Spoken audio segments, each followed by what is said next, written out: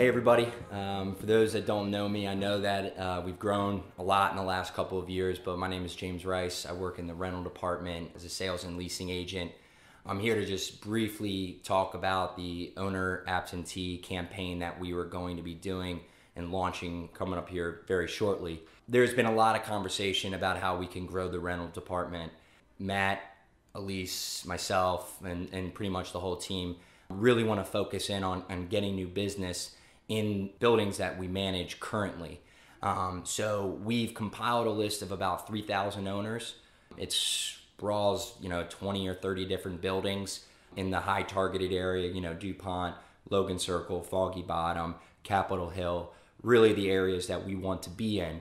So with that being said, you may be getting, you know, calls or emails from an owner in your building trying to get some more information about it. So if you could, please feel free to just keep forwarding uh, the leads to myself.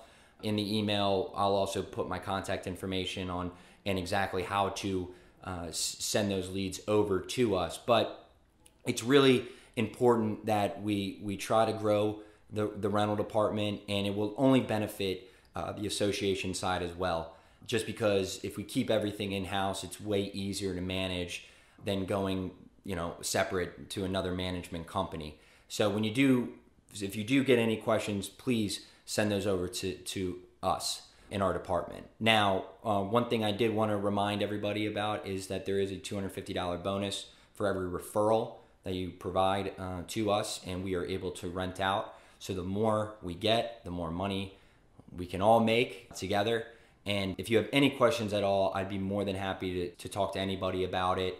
Again, in my email, it, it will have our contact information, so we can definitely set up a time to talk.